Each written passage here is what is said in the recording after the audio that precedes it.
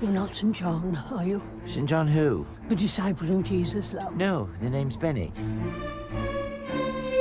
An educated woman and living in a van. And studying incognito at Paris. But what? What were you studying? Music?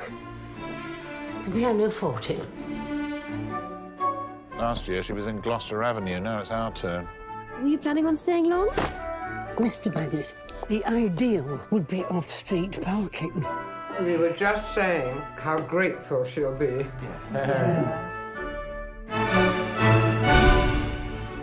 Put the van in your drive? Just till you sort yourself out. Merry Christmas! Shut the door! I'm a busy woman. I won a prize for painting.